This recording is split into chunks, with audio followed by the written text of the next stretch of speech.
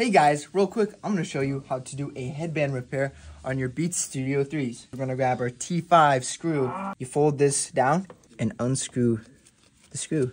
Go like this and just kind of pry up a little bit. I kind of twist it to one side and then you can just pull.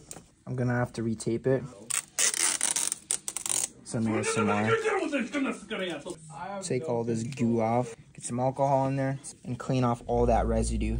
Heat up the headband you just line up your tape right here with the plastic. You just want to line up the plastic piece and you want to get the Beats logo facing this way, like this. Put your cushion on right here. Kind of just line it up. And then once you clipped it in, just, I'd say like 30%. And I will slide it with the headband towards the hinge. Screw away. And we'll just gently start screwing in. That is how you complete your headband Studio 3 repair.